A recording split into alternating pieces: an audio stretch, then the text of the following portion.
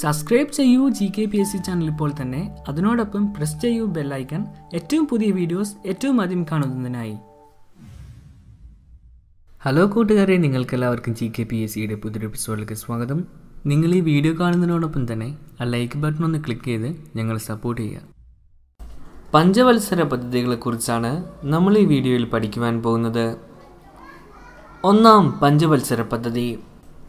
ആയിരത്തി തൊള്ളായിരത്തി അൻപത്തി ഒന്നിലാണ് ഒന്നാം പഞ്ചവത്സര പദ്ധതി ആരംഭിക്കുന്നത്. ഒന്നാം പഞ്ചവത്സര പദ്ധതിയുടെ കാലഘട്ടം ആയിരത്തി തൊള്ളായിരത്തി അൻപത്തി ഒന്ന് മുതൽ ആയിരത്തി തൊള്ളായിരത്തി അൻപത്തി ആറ് വരെയാണ്. ആയിരത്തി തൊള്ളായിരത്തി അൻപത്തി ഒന്ന് ഏപ്രിൽ ഒന്നിനാണ് ഒന്നാം പഞ്ചവത്സര പദ്ധതി ആരംഭിച്ചത്. ഈ പദ്ധതിയിലൂടെയാണ് ബഗ്രാനങ്കൽ ഹിരാകുഡ് എന്നീ അണക്കെട്ടുകളുടെ നിർമ്മാണവും ദാമോദർ വാലി പദ്ധതിയും ആരംഭിച്ചത്. യൂണിവേഴ്സിറ്റി ഗ്രാൻഡ് കമ്മീഷൻ അഥവാ യു ജി സി ആരംഭിച്ചതും ഒന്നാം പഞ്ചവത്സര പദ്ധതിയുടെ കാലത്താണ്. വർഷം ആയിരത്തി തൊള്ളായിരത്തി അൻപത്തി മൂന്ന് പി എസ് സി സാധാരണ ചോദിക്കാറുണ്ട് യു ജി സി ആരംഭിച്ച പഞ്ചവത്സര പദ്ധതി ഏതാണെന്ന് ചോദിക്കാറുണ്ട്. അതേപോലെ തന്നെ വർഷവും ചോദിക്കാറുണ്ട്. രണ്ടും നിങ്ങൾ ഓർത്തു വെക്കുക. ഒന്നാം പഞ്ചവത്സര പദ്ധതിയുടെ നടത്തിപ്പിൽ പ്രധാന പങ്ക് വഹിച്ച മലയാളിയാണ് കെ എൻ രാജ് ഓർമ്മിക്കുക. ഒന്നാം പഞ്ചവത്സര പദ്ധതിയുടെ നടത്തിപ്പിൽ പ്രധാന പങ്ക് വഹിച്ച മലയാളിയാണ് കെ എൻ രാജ്. ഇദ്ദേഹം തന്നെയാണ് ഒന്നാം പഞ്ചവത്സര പദ്ധതിയുടെ ആമുഖം തയ്യാറാക്കിയ വ്യക്തിയും. ഹാരോൾഡ് ഡോമർ മോഡൽ എന്നറിയപ്പെടുന്ന പഞ്ചവത്സര പദ്ധതി ഒന്നാം പഞ്ചവത്സര പദ്ധതിയാണ്. പി. എസ്. സി. അധികവും ചോദിക്കാറുള്ള ചോദ്യമാണ് ഹാരോൾഡ് ഡോമർ മോഡൽ എന്നറിയപ്പെടുന്ന പഞ്ചവത്സര പദ്ധതി ഏതാണ്?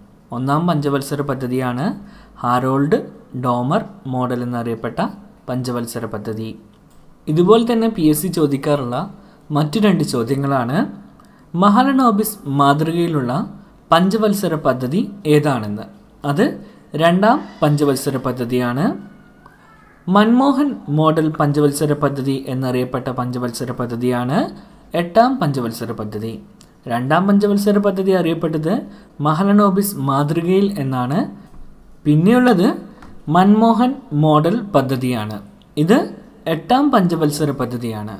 ഒന്നാം പഞ്ചവത്സര പദ്ധതി അറിയപ്പെട്ടത് ഹാറോൾഡ് ഡോമർ മോഡൽ എന്നും രണ്ടാം പഞ്ചവത്സര പദ്ധതി അറിയപ്പെട്ടത് മഹലനോബിസ് മാതൃക എന്നും എട്ടാം പഞ്ചവത്സര പദ്ധതി അറിയപ്പെട്ടത് മൻമോഹൻ മോഡൽ പദ്ധതി എന്നുമാണ്. സാമൂഹിക വികസന പദ്ധതി അഥവാ കമ്മ്യൂണിറ്റി ഡെവലപ്മെന്റ് പ്രോഗ്രാം കൂടാതെ നാഷണൽ എക്സ്റ്റൻഷൻ സർവീസ് എന്നിവ ആരംഭിച്ചത് ഒന്നാം പഞ്ചവത്സര പദ്ധതി കാലത്താണ് കമ്മ്യൂണിറ്റി ഡെവലപ്മെന്റ് പ്രോഗ്രാമും നാഷണൽ എക്സ്റ്റൻഷൻ സർവീസും ആരംഭിച്ചത് ഒന്നാം പഞ്ചവത്സര പദ്ധതി കാലത്താണ്. സാമൂഹിക വികസന പദ്ധതി ആയിരത്തി തൊള്ളായിരത്തി അൻപത്തി രണ്ട് ഒക്ടോബർ രണ്ടിനാണ് ആരംഭിച്ചത്. ഗ്രാമങ്ങളിലെ ഭൗതികവും മാനുഷികവുമായ വിഭവങ്ങളുടെ പരിപൂർണമായ വികസനമായിരുന്നു ഇതിന്റെ ലക്ഷ്യം. ആയിരത്തി തൊള്ളായിരത്തി അൻപത്തിരണ്ട് ഒക്ടോബർ രണ്ട് ഗാന്ധി ജയന്തി ദിനത്തിലാണ് ഈ പദ്ധതി ആരംഭിച്ചത് എന്നത് ഓർത്തു വെക്കുക. ഒന്നാം പദ്ധതി ലക്ഷ്യമിട്ട വളർച്ചാ നിരക്ക് രണ്ട് പോയിന്റ് ഒന്ന് ശതമാനമാണ്. ലക്ഷ്യമിട്ടിരുന്നത് രണ്ട് പോയിന്റ് ഒന്ന് ശതമാനമായിരുന്നു. എന്നാൽ കൈവരിക്കുവാൻ സാധിച്ചത് മൂന്ന് പോയിന്റ് ആറ് ശതമാനം വളർച്ചയാണ്. കാർഷിക പദ്ധതി എന്നറിയപ്പെട്ട പദ്ധതിയായിരുന്നു ഒന്നാം പഞ്ചവത്സര പദ്ധതി.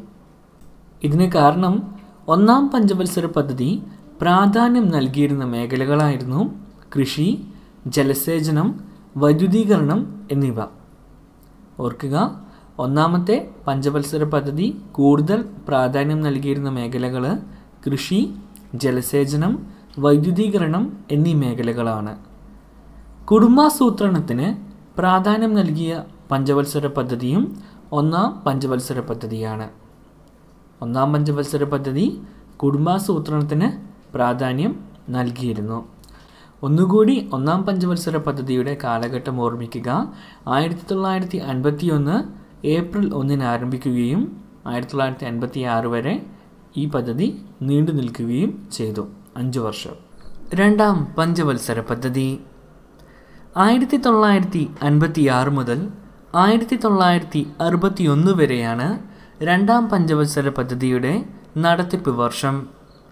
വ്യവസായവൽക്കരണത്തിന് കൂടുതൽ പ്രാധാന്യം നൽകിക്കൊണ്ട് ആവിഷ്കരിച്ച പദ്ധതിയാണ് രണ്ടാം പഞ്ചവത്സര പദ്ധതി. അതുകൊണ്ട് തന്നെ വ്യാവസായിക പദ്ധതി എന്നാണ് രണ്ടാം പഞ്ചവത്സര പദ്ധതി അറിയപ്പെടുന്നത്.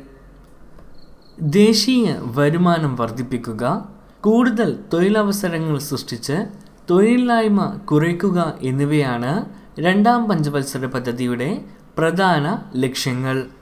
നാല് പോയിന്റ് അഞ്ച് ശതമാനം വളർച്ചാ നിരക്ക് പ്രതീക്ഷിച്ച ഈ പദ്ധതിയിൽ നാല് പോയിന്റ് രണ്ട് ഏഴ് ശതമാനം മാത്രമാണ് വളർച്ചാ നിരക്ക് നേടാനായത്.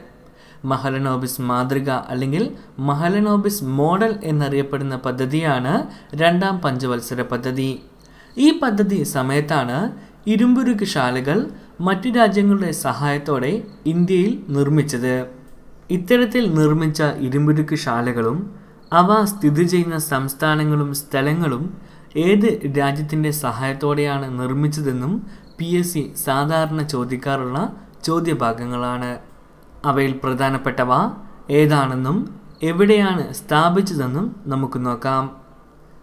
ബംഗാളിലെ ദുർഗാപൂർ എന്ന സ്ഥലത്ത് ബ്രിട്ടന്റെ സഹായത്തോടെ നിർമ്മിച്ചതാണ് ദുർഗാപൂർ ഇരുമ്പുരുക്കുശാല അടുത്തത് ഛത്തീസ്ഗഡിൽ ബിലായി ഇരുമ്പുരുക്കുശാല. സോവിയറ്റ് യൂണിയന്റെ സഹായത്തോടെയാണ് ബിലായി ഇരുമ്പുരുക്കുശാല നിർമ്മിച്ചത്. അടുത്തത് ഒഡീഷയിലെ റൂർക്കല എന്ന സ്ഥലത്ത് ജർമ്മനിയുടെ കൂടി നിർമ്മിച്ച ഇരുമ്പുരുക്കുശാല. ഒന്നുകൂടി ഓർക്കുക ബംഗാളിലെ ദുർഗാപൂരിലെ ഇരുമ്പുരുക്കുശാല ബ്രിട്ടന്റെ സഹായത്തോടെയും ഛത്തീസ്ഗഡിലെ ബിലായ് എന്ന സ്ഥലത്തെ ഇരുമ്പുരുക്കുശാല സോവിയറ്റ് യൂണിയന്റെ സഹായത്തോടെയും ഒഡീഷയിലെ റൂർക്കല എന്ന സ്ഥലത്ത് ജർമ്മനിയുടെ സഹായത്തോടെയാണ് ഇരുമ്പുരുക്കുശാല നിർമ്മിച്ചത്. കോൺഗ്രസിന്റെ ആവടി സമ്മേളനത്തിൽ അംഗീകരിച്ച സോഷ്യലിസ്റ്റ് സമൂഹം എന്ന ആശയത്തെ ഉദ്ദേശിച്ച് രൂപം കൊടുത്ത പഞ്ചവത്സര പദ്ധതിയാണ് രണ്ടാം പഞ്ചവത്സര പദ്ധതി. അഞ്ച് ഐ ഐ ടികൾ. ഇന്ത്യൻ ഇൻസ്റ്റിറ്റ്യൂട്ട് ഓഫ് ടെക്നോളജികൾ സ്ഥാപിച്ചത് രണ്ടാം പഞ്ചവത്സര പദ്ധതി കാലത്താണ്. മൂന്നാം പഞ്ചവത്സര പദ്ധതി ആയിരത്തി തൊള്ളായിരത്തി അറുപത്തി ഒന്ന് മുതൽ അറുപത്തി ആറ് വരെയാണ് മൂന്നാം പഞ്ചവത്സര പദ്ധതിയുടെ നടത്തിപ്പ് വർഷം. സമ്പദ്ഘടനയുടെ സ്വയം പര്യാപ്തതയ്ക്ക് ഊന്നൽ നൽകിയ പഞ്ചവത്സര പദ്ധതിയാണ് മൂന്നാം പഞ്ചവത്സര പദ്ധതി. ഭക്ഷ്യസുരക്ഷ ഉറപ്പുവരുത്തുക എന്നതും മൂന്നാം പഞ്ചവത്സര പദ്ധതിയുടെ പ്രധാന ലക്ഷ്യങ്ങളിൽപ്പെട്ടതാണ്. ആയിരത്തി തൊള്ളായിരത്തി അറുപത്തിരണ്ടിൽ ചൈന ഇന്ത്യയെ ആക്രമിച്ചതും ആയിരത്തി തൊള്ളായിരത്തി അറുപത്തിയഞ്ചിലെ പാക് ഇന്ത്യ യുദ്ധവും നടന്നത് ഈ പദ്ധതിയെ വളരെ പ്രതികൂലമായി ബാധിച്ചു. അഞ്ച് പോയിന്റ് ആറ് ശതമാനം വളർച്ചാ നിരക്ക് പ്രതീക്ഷിച്ച ഈ പദ്ധതിക്ക് ലഭിച്ചത് വെറും രണ്ട് പോയിന്റ് നാല് ശതമാനം മാത്രമാണ്. ഈ പദ്ധതിയുടെ മറ്റൊരു പ്രത്യേകതയാണ് നാല് പ്രധാനമന്ത്രിമാർ ഭരണസാരഥ്യം ഏറ്റെടുത്ത കാലയളവായിരുന്നു ഇത്. ജവഹർലാൽ നെഹ്റു അദ്ദേഹത്തിന്റെ മരണത്തെ തുടർന്ന് ഗുൽസാരിലാൽ നന്ദ ആക്ടിംഗ് പ്രധാനമന്ത്രിയായി. തുടർന്ന് ലാൽ ബഹദൂർ ശാസ്ത്രി പ്രധാനമന്ത്രിയാകുന്നു. ലാൽ ബഹദൂർ ശാസ്ത്രിയുടെ മരണത്തെ തുടർന്ന് വീണ്ടും ഗുൽസാരിലാൽ നന്ദ തന്നെ ആക്ടിംഗ് പ്രധാനമന്ത്രിയാകുന്നു. തുടർന്ന് ഇന്ദിരാഗാന്ധി പ്രധാനമന്ത്രിയായി. ഇങ്ങനെ നാല് പ്രധാനമന്ത്രിമാരുടെ ഭരണസാരിധ്യമുണ്ടായിരുന്ന പഞ്ചവത്സര പദ്ധതിയാണ് മൂന്നാം പഞ്ചവത്സര പദ്ധതി. മൂന്നാം പഞ്ചവത്സര പദ്ധതി കാലത്താണ് ആയിരത്തി തൊള്ളായിരത്തി അറുപത്തിയഞ്ചിൽ നാഷണൽ ഡയറി ഡെവലപ്മെന്റ് ബോർഡ് സ്ഥാപിതമായത്. ഒന്നുകൂടി ഓർമ്മിക്കുക ആയിരത്തി തൊള്ളായിരത്തി അറുപത്തി അഞ്ചിലാണ് നാഷണൽ ഡയറി ഡെവലപ്മെന്റ് ബോർഡ് സ്ഥാപിതമായത്. മൂന്നാം പഞ്ചവത്സര പദ്ധതി കാലത്ത്. നമ്മൾ പഞ്ചവത്സര പദ്ധതികളെക്കുറിച്ച് പഠിക്കുമ്പോൾ ഏറ്റവും അടിസ്ഥാനമായി പഠിക്കേണ്ട കാര്യമാണ് ഈ പഞ്ചവത്സര പദ്ധതികളുടെയൊക്കെ നടത്തിപ്പ് വർഷം. പഞ്ചവത്സര പദ്ധതി എന്ന വാക്കിൽ തന്നെയുണ്ട്. അതിന്റെ കാലഘട്ടം അഞ്ച് വർഷമാണ്. ഓർമ്മിക്കുക. ആയിരത്തി തൊള്ളായിരത്തി അൻപത്തി ഒന്നിൽ ഒന്നാം പഞ്ചവത്സര പദ്ധതി ആരംഭിച്ചു. ആയിരത്തി തൊള്ളായിരത്തി അൻപത്തി ആറിൽ അവസാനിച്ചു. രണ്ടാം പഞ്ചവത്സര പദ്ധതി ആയിരത്തി തൊള്ളായിരത്തി അൻപത്തി ആറിൽ തുടങ്ങുകയും ആയിരത്തി തൊള്ളായിരത്തി അറുപത്തിയൊന്നിൽ അവസാനിക്കുകയും ചെയ്തു. മൂന്നാം പഞ്ചവത്സര പദ്ധതി ആയിരത്തി തൊള്ളായിരത്തി അറുപത്തിയൊന്നിൽ തുടങ്ങുകയും ആയിരത്തി തൊള്ളായിരത്തി അറുപത്തിയാറിൽ അവസാനിക്കുകയും ചെയ്തു. ഒന്നാം പഞ്ചവത്സര പദ്ധതിയും രണ്ടാം പഞ്ചവത്സര പദ്ധതിയും മൂന്നാം പഞ്ചവത്സര പദ്ധതിയും ഒരേപോലെ തന്നെ അഞ്ച് വർഷം തുടർന്നു. ആയിരത്തി തൊള്ളായിരത്തി അൻപത്തി ഒന്ന് മുതൽ ആയിരത്തി തൊള്ളായിരത്തി അറുപത്തി ആറ് വരെ അഞ്ച് വർഷം വെച്ച് കണക്ക് കൂട്ടിയാൽ നമുക്ക് മൂന്ന് പദ്ധതികളുടെയും വർഷം കാണുവാൻ സാധിക്കും. എന്നാൽ ആയിരത്തി തൊള്ളായിരത്തി അറുപത്തി ആറ് മുതൽ ആയിരത്തി തൊള്ളായിരത്തി അറുപത്തി ഒൻപത് വരെ വാർഷിക പദ്ധതിയാണ് നടത്തിയത്. പ്ലാൻ ഹോളിഡേ എന്നാണ് ഇതറിയപ്പെട്ടത്. ഓർമ്മിക്കുക പ്ലാൻ ഹോളിഡേ നടപ്പിലാക്കിയത് ആയിരത്തി തൊള്ളായിരത്തി അറുപത്തി ആറ് മുതൽ ആയിരത്തി തൊള്ളായിരത്തി അറുപത്തി ഒൻപത് വരെയാണ്. ആയിരത്തി തൊള്ളായിരത്തി അറുപത്തിയഞ്ചിലെ പാകിസ്ഥാനുമായുള്ള സംഘർഷത്തെ തുടർന്ന് ആഭ്യന്തര പ്രശ്നങ്ങൾ കാരണം നാലാം പഞ്ചവത്സര പദ്ധതി ആയിരത്തി തൊള്ളായിരത്തി അറുപത്തിയാറിൽ ആരംഭിക്കുവാൻ സാധിച്ചില്ല. ആയതിനാൽ ആയിരത്തി തൊള്ളായിരത്തി അറുപത്തി ആറ് മുതൽ ആയിരത്തി തൊള്ളായിരത്തി അറുപത്തി ഒൻപത് വരെ മൂന്ന് വാർഷിക പദ്ധതികളാണ് നടപ്പിലാക്കിയത്. ഈ സമയത്തുണ്ടായ പ്രധാന സംഭവമാണ് ഹരിത വിപ്ലവം ഹരിത വിപ്ലവം ആരംഭിച്ചത് ഈ സമയത്താണ്. നാലാം പഞ്ചവത്സര പദ്ധതി. ആയിരത്തി തൊള്ളായിരത്തി അറുപത്തി ഒൻപത് മുതൽ ആയിരത്തി തൊള്ളായിരത്തി എഴുപത്തി നാല് വരെയാണ് നാലാം പഞ്ചവത്സര പദ്ധതിയുടെ നടത്തിപ്പ് വർഷം. സ്വയം പര്യാപ്തത സ്ഥിരതയോടുള്ള വളർച്ച എന്നിവയായിരുന്നു നാലാം പഞ്ചവത്സര പദ്ധതിയുടെ പ്രധാന ലക്ഷ്യങ്ങൾ. ഓർമ്മിക്കുക സ്വയം പര്യാപ്തത സ്ഥിരതയോടുള്ള വളർച്ച എന്നിവയായിരുന്നു നാലാം പഞ്ചവത്സര പദ്ധതിയുടെ പ്രധാന ലക്ഷ്യങ്ങൾ. കൃഷി വ്യവസായം എന്നിവയിൽ സ്വയം പര്യാപ്തത കൈവരിക്കുക എന്നതും ഈ പദ്ധതിയുടെ പ്രധാന ലക്ഷ്യങ്ങളിൽ ഒന്നായിരുന്നു. മൂന്ന് പോയിന്റ് മൂന്ന് ശതമാനം വളർച്ചാ നിരക്ക് കൈവരിച്ച ഈ പദ്ധതി ലക്ഷ്യം വെച്ചിരുന്നത് അഞ്ച് പോയിന്റ് ആറ് ശതമാനം വളർച്ചാ നിരക്കായിരുന്നു. ദുർബല വിഭാഗങ്ങളുടെ ഉന്നമനത്തിന് ഊന്നൽ നൽകിയ പദ്ധതിയും നാലാം പഞ്ചവത്സര പദ്ധതിയാണ്. നാലാം പഞ്ചവത്സര പദ്ധതിയുടെ നടത്തിപ്പ് വർഷം ഒന്നുകൂടി ഓർമ്മിക്കുക. ആയിരത്തി തൊള്ളായിരത്തി അറുപത്തി ഒൻപത് മുതൽ ആയിരത്തി തൊള്ളായിരത്തി എഴുപത്തി നാല് വരെയാണ്. അഞ്ചാം പഞ്ചവത്സര പദ്ധതി.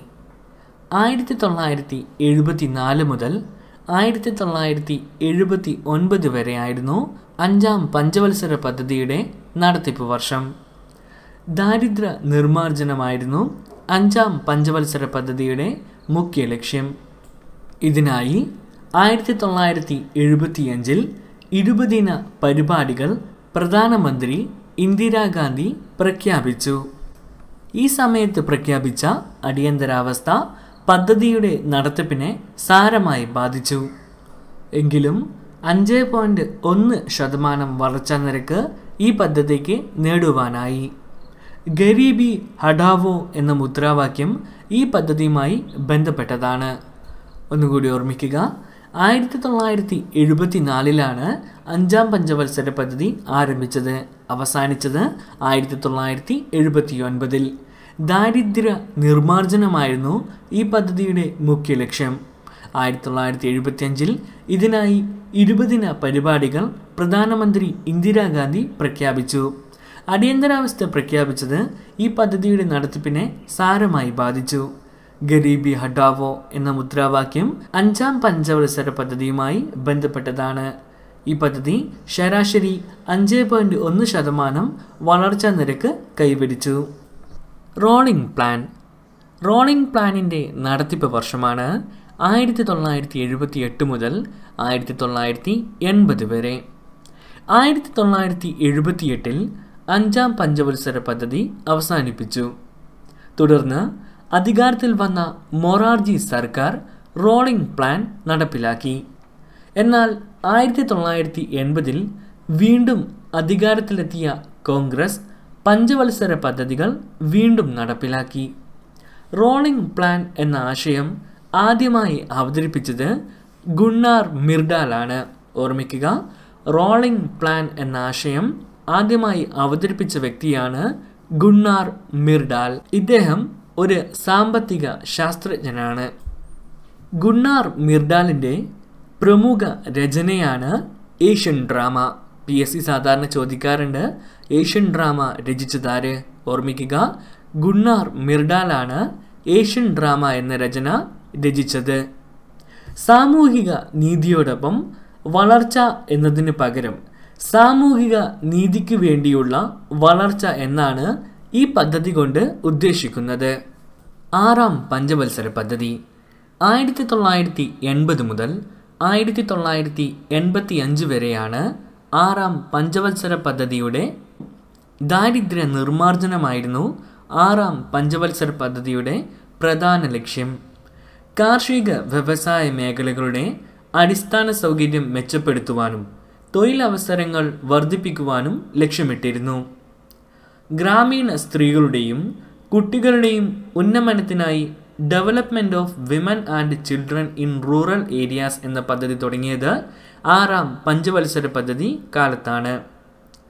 I R D P R L G P R N E P TRYSEM എന്നിങ്ങനെ വികസന പദ്ധതികളും തുടങ്ങി. ഒന്നുകൂടി ഓർമ്മിക്കുക ഗ്രാമീണ സ്ത്രീകളുടെയും കുട്ടികളുടെയും ഉന്നമനത്തിനായി development of women and children in rural areas എന്ന പദ്ധതി തുടങ്ങിയത് ആറാം പഞ്ചവത്സര പദ്ധതി കാലഘട്ടത്തിലാണ്. അതേപോലെ തന്നെ I R D P R L G P R N E P TRYSEM എന്നീ വികസന പദ്ധതികളും തുടങ്ങിയത് ആറാം പഞ്ചവത്സര പദ്ധതി കാലത്താണ്. ഇതിന്റെ അതായത് ആറാം പഞ്ചവത്സര പദ്ധതിയുടെ കാലഘട്ടം ഓർമ്മിച്ച് വെക്കുക ആയിരത്തി തൊള്ളായിരത്തി എൺപത് മുതൽ എൺപത്തി അഞ്ച് വരെ. ഏഴാം പഞ്ചവത്സര പദ്ധതി. നമുക്കറിയാം ആറാം പഞ്ചവത്സര പദ്ധതി തുടങ്ങിയത് ആയിരത്തി തൊള്ളായിരത്തി എൺപത് മുതൽ എൺപത്തിയഞ്ച് വരെയാണ്. ഏഴാം പഞ്ചവത്സര പദ്ധതിയുടെ നടത്തിപ്പ് വർഷം ആയിരത്തി തൊള്ളായിരത്തി എൺപത്തി അഞ്ച് മുതൽ തൊണ്ണൂറ് വരെയാണ്. ആയിരത്തി തൊള്ളായിരത്തി തൊണ്ണൂറ് വരെ. ആധുനികവൽക്കരണം സാമൂഹ്യനിധി തൊഴിലവസരങ്ങൾ വർദ്ധിപ്പിക്കുക ഭക്ഷ്യധാന്യങ്ങളുടെ ഉൽപ്പാദനം വർദ്ധിപ്പിക്കുക എന്നിവയായിരുന്നു ഏഴാം പഞ്ചവത്സര പദ്ധതിയുടെ പ്രധാന ലക്ഷ്യങ്ങൾ. വാർത്താവിനിമയ രംഗത്ത് ഇന്ത്യയ്ക്ക് പുരോഗതി നേടുവാൻ കഴിഞ്ഞത് ഏഴാം പഞ്ചവത്സര പദ്ധതിയുടെ കാലത്തിലാണ്. ആറ് ശതമാനം വളർച്ചാ നിരക്കാണ് ഏഴാം പഞ്ചവത്സര പദ്ധതി കൈവരിച്ചത്. ഇത് കഴിഞ്ഞ് അടുത്ത പദ്ധതി തുടങ്ങേണ്ടിയിരുന്നത് ആയിരത്തി തൊള്ളായിരത്തി തൊണ്ണൂറ് മുതൽ തൊണ്ണൂറ്റി അഞ്ച് വരെയാണ്. എന്നാൽ രാഷ്ട്രീയ അനിശ്ചിതത്വം നിലനിന്നിരുന്നതിനാൽ ആയിരത്തി തൊള്ളായിരത്തി തൊണ്ണൂറ് മുതൽ തൊണ്ണൂറ്റിയൊന്ന് വരെയും തൊണ്ണൂറ്റിയൊന്ന് മുതൽ തൊണ്ണൂറ്റി രണ്ട് വരെയും രണ്ട് വാർഷിക പദ്ധതികളാണ് നടപ്പിലാക്കിയിരുന്നത്. ഓർക്കുക ഇതിന്റെ തുടർച്ച എന്നോണം ആയിരത്തി തൊള്ളായിരത്തി തൊണ്ണൂറ് മുതൽ തൊണ്ണൂറ്റി അഞ്ച് വരെ പഞ്ചവത്സര പദ്ധതി നടന്നില്ല. പകരം തൊണ്ണൂറ്റിയൊന്ന് തൊണ്ണൂറ്റി രണ്ട് വർഷങ്ങളിൽ രണ്ട് വാർഷിക പദ്ധതിയാണ് നടപ്പിലാക്കിയത്. ഏഴാം പഞ്ചവത്സര പദ്ധതിയുടെ കാലഘട്ടം ഒന്നുകൂടി ഓർമ്മിച്ച് വെക്കുക. ആയിരത്തി തൊള്ളായിരത്തി എൺപത്തി അഞ്ച് മുതൽ ആയിരത്തി തൊള്ളായിരത്തി തൊണ്ണൂറ് വരെ. എട്ടാം പഞ്ചവത്സര പദ്ധതി. ആയിരത്തി തൊള്ളായിരത്തി തൊണ്ണൂറിലാണ് ഏഴാം പഞ്ചവത്സര പദ്ധതി അവസാനിച്ചത്. തൊണ്ണൂറ്റിയൊന്ന് തൊണ്ണൂറ്റി രണ്ട് വർഷങ്ങളിൽ വാർഷിക പദ്ധതികളായിരുന്നു. അത് കഴിഞ്ഞ് എട്ടാം പഞ്ചവത്സര പദ്ധതി നടന്നത് ആയിരത്തി തൊള്ളായിരത്തി തൊണ്ണൂറ്റി രണ്ട് മുതൽ ആയിരത്തി തൊള്ളായിരത്തി തൊണ്ണൂറ്റി ഏഴ് വരെയാണ്. എട്ടാം പഞ്ചവത്സര പദ്ധതിയുടെ പ്രഥമ ലക്ഷ്യം മനുഷ്യ വികസനമായിരുന്നു. വ്യവസായങ്ങളെ ആധുനികവൽക്കരിച്ചു സ്വയം തൊഴിൽ പ്രോത്സാഹിപ്പിച്ചു ജനസംഖ്യ നിയന്ത്രണം നടപ്പാക്കി എന്നിവയാണ് എട്ടാം പഞ്ചവത്സര പദ്ധതി കാലത്ത് പ്രധാനമായും നടപ്പിലാക്കിയത്.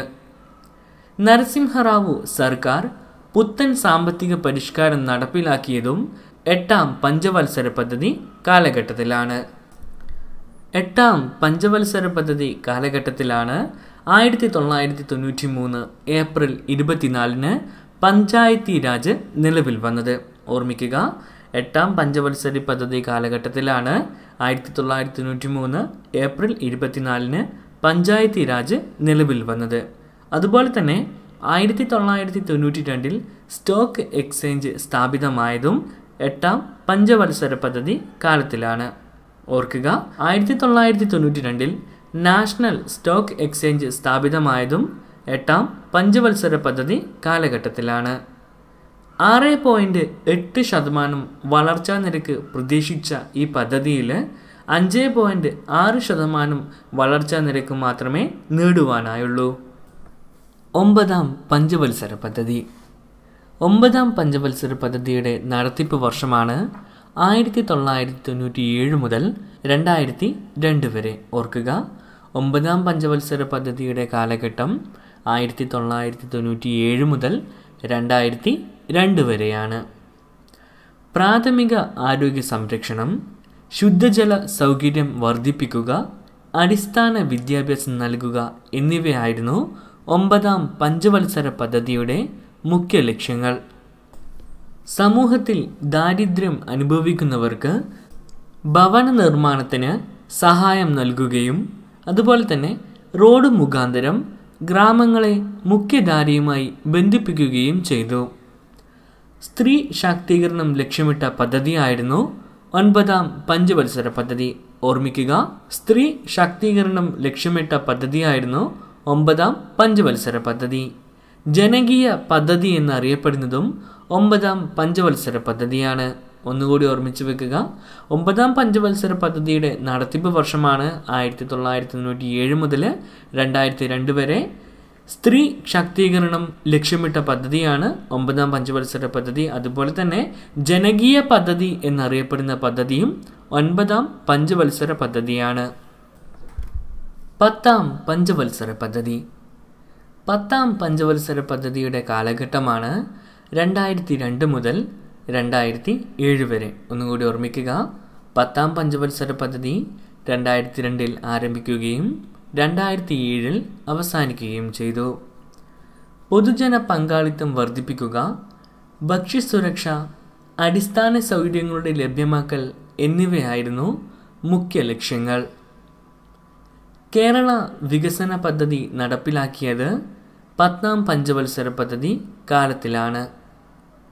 എട്ട് പോയിന്റ് ഒന്ന് ശതമാനം വളർച്ചാ നിരക്ക് ലക്ഷ്യമിട്ട ഈ പദ്ധതിക്ക് ഏഴ് പോയിന്റ് ഏഴ് ശതമാനം വളർച്ചാ നിരക്ക് മാത്രമേ കൈവരിക്കുവാൻ സാധിച്ചുള്ളൂ.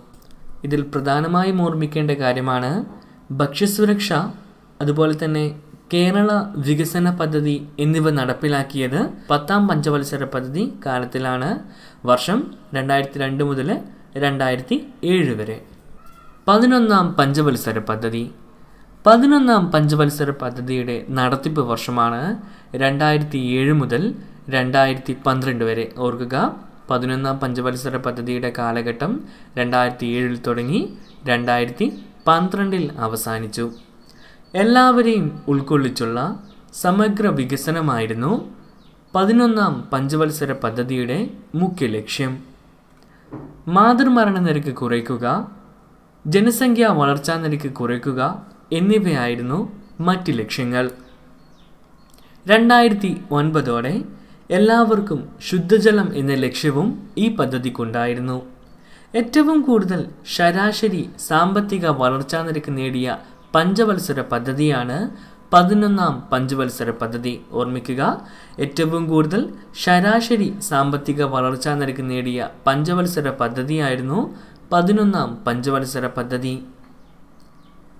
ഏഴ് പോയിന്റ് ഒൻപത് ശതമാനം വളർച്ചാ നിരക്ക് ഈ പദ്ധതിക്ക് കൈവരിക്കുവാൻ സാധിച്ചു.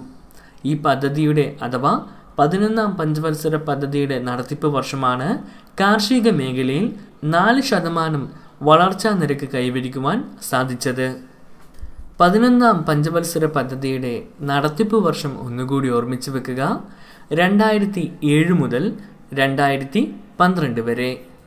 പന്ത്രണ്ടാം പഞ്ചവത്സര പദ്ധതി. രണ്ടായിരത്തി പന്ത്രണ്ട് മുതൽ രണ്ടായിരത്തി പതിനേഴ് വരെയായിരുന്നു പന്ത്രണ്ടാം പഞ്ചവത്സര പദ്ധതിയുടെ കാലഘട്ടം. വർഷം ഒന്നുകൂടി ഓർമ്മിക്കുക രണ്ടായിരത്തി പന്ത്രണ്ടിലാണ് പന്ത്രണ്ടാം പഞ്ചവത്സര പദ്ധതി ആരംഭിക്കുന്നത്. രണ്ടായിരത്തി പതിനേഴിൽ അവസാനിച്ചു. ഓർമ്മിക്കുക രണ്ടായിരത്തി പന്ത്രണ്ടിലാണ് പന്ത്രണ്ടാം പഞ്ചവത്സര പദ്ധതി ആരംഭിക്കുന്നത്. ഓർമ്മിക്കാൻ വേണ്ടി നമ്മൾക്ക് എളുപ്പമാണ്. കൂടാതെ അവസാനത്തെ പഞ്ചവത്സര പദ്ധതിയാണ് പന്ത്രണ്ടാം പഞ്ചവത്സര പദ്ധതി.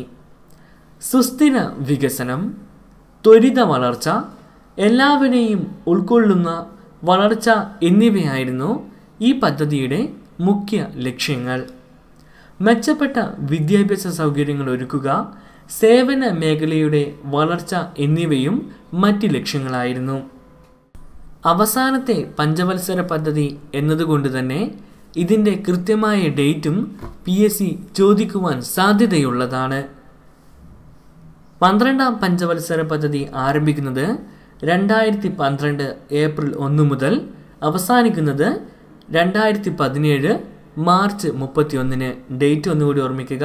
കാലഘട്ടം രണ്ടായിരത്തി പന്ത്രണ്ട് ഏപ്രിൽ ഒന്ന് മുതൽ രണ്ടായിരത്തി പതിനേഴ് മാർച്ച് മുപ്പത്തിയൊന്ന് വരെ. പദ്ധതിയുടെ കരട് രേഖയിൽ ഒൻപത് ശതമാനം വളർച്ചാ നിരക്ക് ലക്ഷ്യമിട്ടിരുന്നു. എന്നാൽ രണ്ടായിരത്തി പന്ത്രണ്ട് ഡിസംബറിൽ ചേർന്ന ദേശീയ വികസന സമിതി യോഗം എട്ട് ശതമാനമെന്ന് കുറച്ച് പ്രഖ്യാപിച്ചു.